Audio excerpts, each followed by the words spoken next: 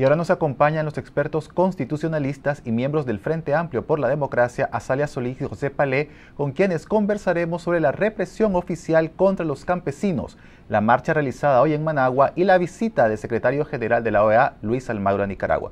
Muchas gracias, doctor Palé. Muchas gracias, doctora Solís. Muchas Carlos. Me gustaría que comenzáramos analizando la represión desatada ayer contra el movimiento campesino por parte de la Policía Nacional y el régimen del comandante Ortega. O ¿cuál es el cálculo político que ha hecho Ortega al reprimir de esta forma a los campesinos y estando además en Nicaragua una delegación de la Organización de Estados Americanos? Seguramente resulta un poco ilógico, ¿verdad? pero pienso que entre el balance entre la legitimidad y el control, Daniel Ortega decidió por el control, porque está claro que a partir del 6 de octubre, del 6 de noviembre, él perdió claramente toda la legitimidad como gobierno. Entonces se decidió por el control. O sea, no, no tiene ningún sentido, o sea, en términos cotidianos, en términos eh, coloquiales, no tiene ningún sentido lo que pasó. Porque al final de cuentas, en el imaginario de la gente de Managua, fueron miles los que no vinieron. O sea, fueron miles del sur y fueron miles del norte, campesinos, porque también los campesinos del norte venían hacia Managua y igualmente como hicieron en, en, la lechera en Nueva Guinea, también en el Kuala de Alia, en algunos de estos lugares hicieron destrucción de carretera, un país tan pobre, destruir carretera para impedir la pasada. O sea, no tiene ningún sentido lógico, simple y sencillamente es una escalada de represión de la ilegitimidad del régimen. Doctor Pale, además es inédito lo que está diciendo la doctora Solís, el hecho de que sean las mismas autoridades, el mismo gobierno que decida a destruir puentes, a destruir carreteras para evitar que avancen los campesinos, no solo se violenta un derecho constitucional, que es el derecho a la libertad de expresarse y manifestarse, sino que está atentando contra el patrimonio de todo el país. Aquí se habla mucho del muro de Trump. Ortega y la Murillo hicieron un muro contra su propio pueblo. Un muro que está construido a base de zanja, a base de destrucción de infraestructura, un muro a sangre y fuego, porque también este, no tuvieron ningún reparo actuando la Policía Nacional este, como guardia petrolana, disparando contra campesinos indefensos, que tu único ánimo era manifestarse, tratar de ejercer sus derechos constitucionales y les fue negado. Es decir, el temor de Ortega a la población, la falta de apoyo político, lo ha hecho que todo su fortaleza recaiga en la represión. Es decir, está en esta época ya centrando su gobierno únicamente en, el apoyo que le queda, el apoyo de las fuerzas militares, ejército y policía que están actuando como fuerzas petrolianas. Pero se les olvida a estos militares, se les olvida a estos policías que sus crímenes no prescriben, que son delitos de lesa humanidad disparar contra ciudadanos civiles desarmados y que la justicia le llegará, que hay justicia internacional que está pendiente, que está dándole seguimiento a esta barbarie y que no podrán escapar a ese brazo de la justicia. Además parece ser que lo que ha logrado la actitud del gobierno y también de las fuerzas policiales y militares es reforzar la credibilidad y la integridad que ya tenía ante la población el movimiento campesino. Vimos hoy, por ejemplo, en la tarde las denuncias de doña Francisca Ramírez, la líder campesina, denunciando que no solo hubo esta represión y este acoso, sino también a ella misma la dejaron sin un camión y sin una camioneta.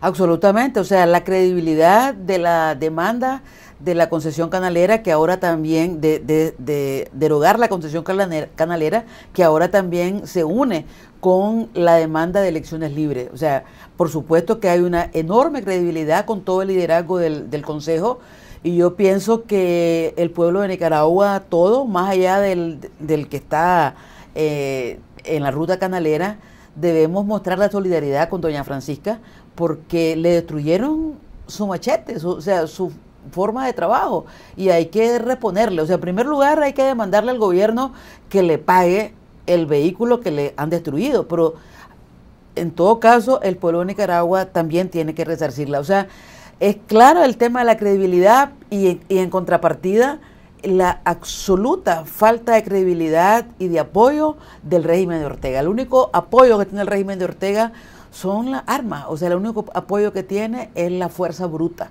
Y, sabemos, porque nosotros sabemos la historia de Nicaragua, la fuerza bruta no tiene, no tiene salida, no tiene, no tiene sentido. Al fin y al cabo, la gente con su fuerza, con su debilidad unida, hace fuerza.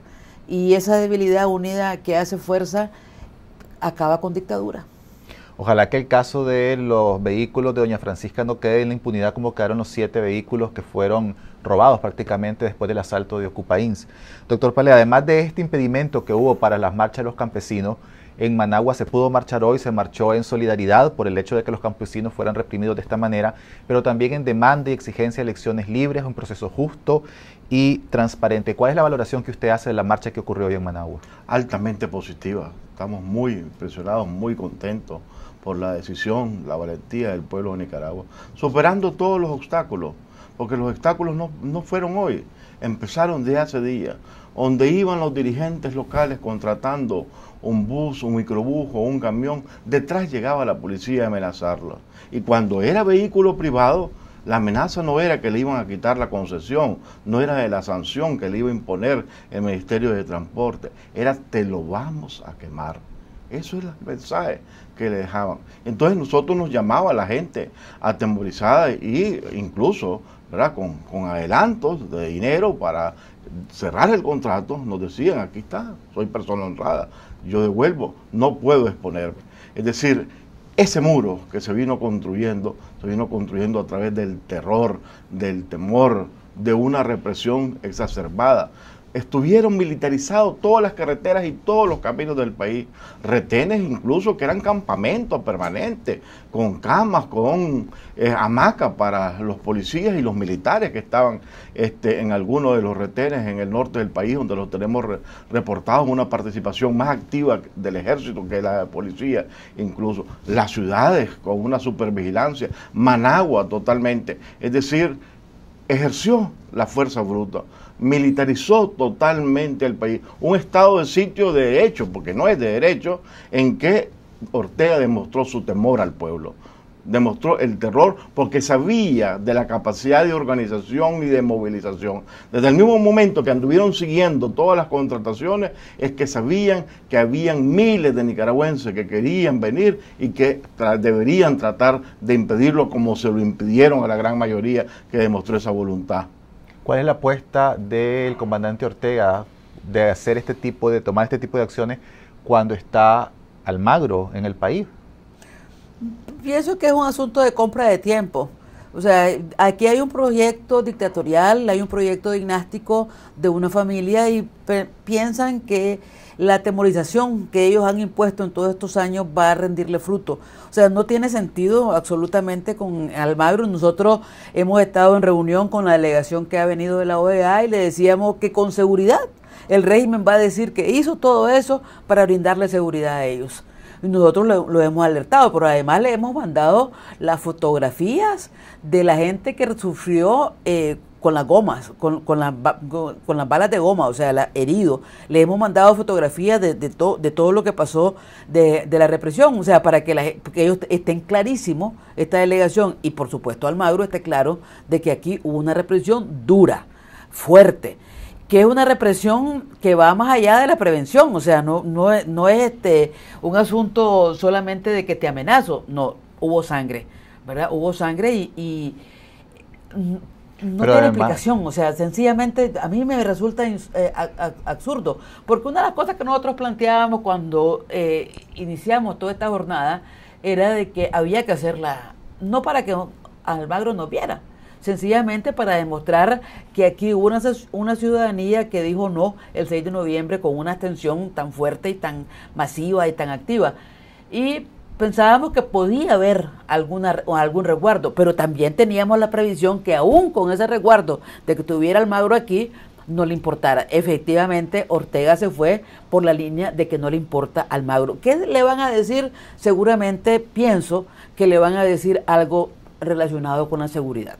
Fue interesante porque quien recibió al secretario general de la OEA en el aeropuerto fue el embajador Moncada quien ya en la sede de la OEA en Washington había pedido su renuncia, su destitución. Eh, el canciller Samuel Santos parece que en realidad no está pintando ningún papel en el recibimiento y en todo el proceso del viaje que hará Almagro por el país. Doctor, usted se ha reunido también con la delegación que previamente estuvo en Nicaragua. ¿Qué, intereses tenían ellos? ¿Qué tipo de información requerían? Mira, ellos tenían toda la información del colapso este, de los procesos electorales en Nicaragua, que ya no garantizan elecciones democráticas, están muy claros la OEA no solo tuvo la información que nosotros le hemos estado enviando por meses, sino que tenía los precedentes de sus misiones de observación en 2011 y en 2012, que este, fueron totalmente desatendidos por Ortega. Es decir, ahí hay recomendaciones muy precisas, muy claras, que no recibieron ninguna atención de este gobierno. Entonces ellos tienen toda la información, están clarísimos cuál es el panorama, están con todo el conocimiento de que las obligaciones internacionales que está Ortega obligado, repito, a cumplir y que están consignadas en la Carta Democrática Interamericana no tienen ninguna valor, ninguna aplicación. Aquí no se garantizan elecciones libres, los ciudadanos no eligen, es decir, esto no es democracia, es una dictadura que ahora enseña su verdadera cara, la cara de la represión más dura, más violenta, como hemos vivido en estos tres últimos días. Doctora Solís, ¿cree usted que se pueda llegar a un acuerdo de diálogo entre la, OEA, la OEA perdón, y el gobierno después de lo que hemos visto estos días y del hecho de que el presidente Ortega parece no estar dispuesto a ceder en las exigencias que hace la oposición? Mira, yo pienso que lo más importante alrededor de este diálogo es el diálogo que podamos hacer los nicaragüenses, es decir, todas las fuerzas que queremos vivir en paz, todas las fuerzas que no queremos que la, guerra vuelva a Nicaragua, creo que nos tenemos que poner de acuerdo. Yo entiendo que hay dos posiciones muy claras en el país. Una posición de los sectores que están, eh, como dirían en, al lenguaje popular, alrededor de la vaca, ¿verdad? Que están en la posición de que lo robado, robado está. Y estamos otras personas y otras organizaciones y una inmensa mayoría del pueblo nicaragüense que le dijo no eh, con la abstención el 6 de noviembre, que pensamos que tenemos derecho a elegir, que tenemos derecho a, ser electos, que tenemos derecho a vivir en paz. Y que estamos más por la, las responsabilidades que asumió el, el gobierno de Nicaragua, el Estado de Nicaragua con Esquipula con las responsabilidades que están eh, derivadas de la Carta Democrática y con las responsabilidades que están derivadas con todo el marco jurídico del sistema interamericano y el sistema universal. Entonces, eh, si, el, si Ortega va a aceptarnos en el diálogo, yo creo que lo más importante es que los nicaragüenses nos pongamos de acuerdo sobre qué queremos, sobre qué demandamos este, frente a esta situación. O sea, lo que sí queremos es que podamos eh, vivir en paz. Y que vivir en paz significa poder elegir. O sea, vivir en paz significa que no tengamos un rey. O sea, porque realmente Ortega, su esposa, su familia se comportan como que esto fuera un reinado, como que ellos fueran unos sultanes y nosotros queremos otra cosa. Vamos a ir a un corte comercial, pero regreso seguiremos hablando tanto de la visita del secretario general como de la propuesta que ha hecho la oposición de repetir las elecciones generales del próximo año. En el corte estábamos hablando de la visita del secretario general Almagro que aterrizó hoy en Managua y se va a reunir, o ya se reunió y tiene reuniones con el gobierno, pero también se reunió con organizaciones de la sociedad civil y con la oposición. ¿Cree usted, doctor Palé, de que la OEA puede ejercer algún tipo de presión ante el gobierno para lograr cambios principalmente en el tema electoral? Definitivamente. Yo creo que la presencia de la OEA ya es un elemento positivo, porque Ortega tiene que darse cuenta que ya la comunidad internacional puso sus ojos en Nicaragua. Definitivamente que la solución la vamos a encontrar los nicaragüenses. Y en Nicaragua ha evolucionado en esta jornada muy positivamente. Ya hay una articulación muy grande de muchísimas fuerzas opositoras, de todas las fuerzas democráticas. El cacicazgo tradicional de esos liderazgos ya están agotados ya salieron del juego. Ya hay una nueva realidad política que es capaz de movilizar a todo un país, que es capaz de enviar un mensaje todos esos ciudadanos nicaragüenses y que están decididos a luchar por su libertad y por su democracia.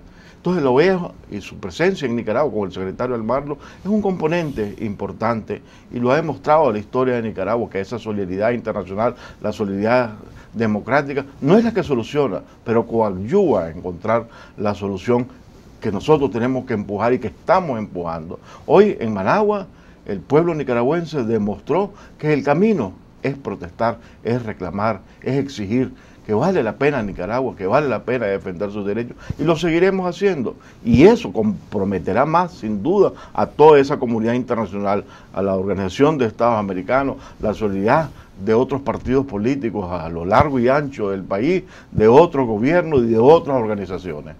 Doctora Solís, con respecto a lo que mencionaba eh, el doctor Palé, el 6 de noviembre la población, eh, los nicaragüenses en posibilidad de votar, mandaron un mensaje claro, que era la abstención, que puede significar en algunos casos el hecho de que están o cansados o no están de acuerdo con las decisiones que se han tomado de parte del gobierno. Y hemos visto también un gran apoyo en las redes sociales, pero también de solidaridad con el liderazgo político. Estamos ante un nuevo despertar de parte de los nicaragüenses, hay un mayor compromiso político de parte de los nicaragüenses hacia un cambio que están en desacuerdo de lo que está pasando el país o cómo se está manejando el país.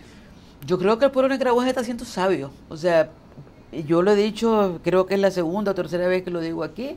El 79 fue la salida de la arma, el 90 fue la salida de los votos. Ahora no tenemos ni el arma y los votos no los desvirtuaron. Entonces el pueblo nicaragüense encontró una salida, una tercera salida. No tenemos mucha experiencia, o sea, no tenemos experiencia. ¿Qué se hace con una abstención? ¿Qué se hace con una abstención? Eso es nuevo. ¿Verdad? Entonces creo que está habiendo una enorme inteligencia del pueblo, pero porque además no es una atención en, en, el sentido de que de apatía, sino que es una atención activa, que porque la gente la documentó y estuvo pendiente. Aquí va, no estaba así esta junta, aquí durante todo el día del 6 de noviembre. Entonces, creo que es una salida que nos está diciendo un campanazo y además creo que nos estamos llamando toda la atención ¿verdad? Porque yo, yo también fui dedos limpios. Entonces creo que todos nos estamos llamando la atención de que busquemos medidas creativas y medidas creativas que están en la línea de lo que decía este, el doctor Palé, es decir, nuestra, de Nicaragua. ¿Cómo los nicaragüenses le buscamos ahora esta salida? O sea, no vamos a ir a hacer cuartelazo, no vamos a ir a hacer este, votación con este Consejo este, Electoral, Entendemos que va a ser una salida cívica, pero esta salida, esta salida cívica implica pasar por diálogos, pues, implica pasar por cambios, enormes cambios que no son solamente el sistema electoral, porque el colapso que quedó patente el 6 de noviembre no es solo el sistema electoral, es el sistema político. Y además, viendo la experiencia de, de Venezuela, nosotros no podemos ir a unas elecciones donde nos cambian todo tener distinta, una, una composición distinta y que venga la, la, Corte Suprema de Justicia y judicialice ¿verdad? las decisiones este, políticas. Entonces creo que aquí estamos hablando de un cambio político en el que el pueblo nicaragüense está involucrado, no hay apatía, está involucrado. Seguramente este, no tenemos toda la, la, la salida clara porque es nuevo, pero sí hay este, posición política para encontrar una salida. Desde la oposición, tanto el Frente Amplio también como Ciudadanos por la Libertad se han puesto de acuerdo en una agenda común sobre lo que se debe exigir como eh, movimientos políticos. Ustedes han dicho que las elecciones generales se repitan aprovechando las municipales en 2017. ¿Qué posibilidades ve usted, doctor Paredes, de que se cumpla esta proyección? Nosotros estamos empujando eso decididamente. Fue el mensaje central que se transmitió a la Comisión de Trabajo del Secretario General es el mismo mensaje que le vamos a decir hoy al secretario general Luis Almagro. Aquí si queremos sentar la base de la estabilidad del país, tiene que ser sobre la decisión del ciudadano. No puede haber legitimidad si no hay consenso del ciudadano, si no hay elección del gobernante. Aquí estaríamos con una sociedad totalmente falsa. Estaríamos abriendo la puerta a un conflicto político-social permanente, donde el país no tiene ninguna posibilidad. En un contexto internacional muy difícil, el cambio político en los Estados Unidos, nuestro principal socio económico, nos abre un escenario futuro muy complejo en que la oportunidad de crecimiento del país está limitado por esos cambios. Y si no presentamos un país unido, si no presentamos un país en democracia, no vamos a poder superar esos problemas, no vamos a poder lograr sobrepasar esas dificultades. Entonces Ortega es el único que no entiende eso. Aquí nosotros lo entendemos perfectamente y por eso es que estamos dispuestos a luchar, porque necesitamos un país viable y Ortega está convirtiendo que Nicaragua sea un país totalmente inviable a como él lo quiere manejar, ese sistema que quiere imponer y que es el sistema que fue repudiado conscientemente por los ciudadanos el 6 de noviembre. Doctora Solís, de cara a esta propuesta de repetir elecciones generales en 2017, ¿hay una hoja de ruta de parte de la oposición? Es decir, ¿cuáles son los elementos que ustedes exigen para garantizar eso? Porque no solo se trata de repetir elecciones si el sistema en realidad no cambia. Exacto, la hoja de ruta, y además nosotros hemos insistido que no es derrocamiento de un gobierno. Aquí hay una hoja de ruta constitucional, que además tiene sus antecedentes de 1990. Las elecciones de 1990 estaban previstas para noviembre y se hicieron en febrero a partir de una reforma a la Constitución que adelantó las elecciones y que además se hizo en los dos periodos, en las dos legislaturas que la Constitución demandaba. Es decir, es posible hacerlo.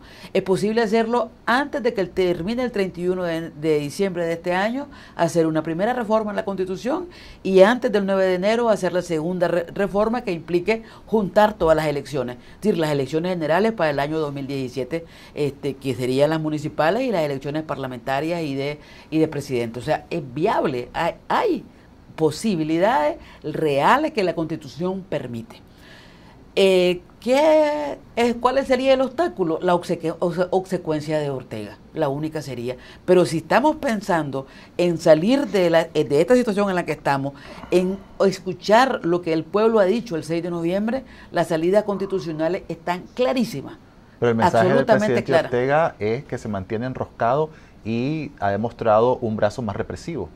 Claro, por eso es que nosotros pensamos que eh, depende mucho del diálogo en inter interno de Nicaragua entre los distintos actores nicaragüenses. Es decir, cuando aquí se habla de unidad, yo pienso que no se, no, se debe tratar de juntar siglas, no se debe de, juntar solamente personas, sino que se deben juntar voluntades. Y en estas voluntades implica que los que estamos de oposición, que los que estamos pensando que aquí debe haber un cambio, juntarnos y demandar verdaderamente un cambio. O sea, pero un cambio real, absoluto, que, y que además tiene salidas constitucionales, que no son imposiciones al margen de la institucionalidad. Eh, doctor Pale, una vez que el secretario general de la OEA deje el país, de que conozcamos, tal vez, si al final de cuentas sabemos que conversó con el gobierno, ¿cuál es la estrategia que ustedes como oposición van a seguir?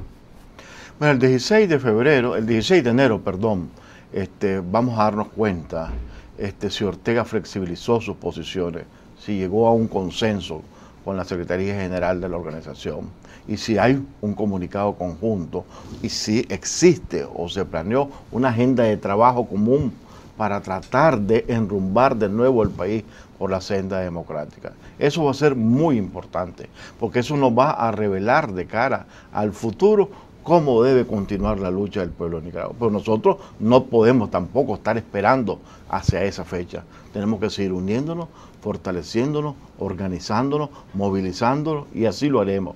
Es decir, se han dado pasos trascendentales que han pasado desapercibidos. Por ejemplo, este, la coordinación, la articulación entre el Consejo de Defensa de la Tierra y el FAC y una parte de Ciudadanos por la Libertad en el sentido de esa unidad en la acción, de darse cuenta que la soberanía este, tiene dos elementos que deben juntarse para defenderla. La soberanía sobre el derecho a la tierra de los campesinos y la soberanía del derecho a elegir y lo más importante, que para poder cambiar esa barbaridad de esa ley del canal, de esa entrega de nuestra soberanía, es importantísimo que el gobierno cambie. Y esto solo puede hacerse mediante elecciones libres. Pero aquí hay un eh, tercer interlocutor, yo diría más bien el segundo, que tiene mucha importancia, que es el sector empresarial. Hasta ahora el sector empresarial ha mantenido una excelente relación con el gobierno y más allá de un par de críticas muy edulcorantes, no ha dicho, no ha, no ha, mantenido una posición firme sobre el deterioro institucional, el tema electoral y la violencia oficial. ¿Cuál, ¿Cómo usted mira la, la, posición esta que ha tenido el sector empresarial? Mira, yo veo que va cambiando.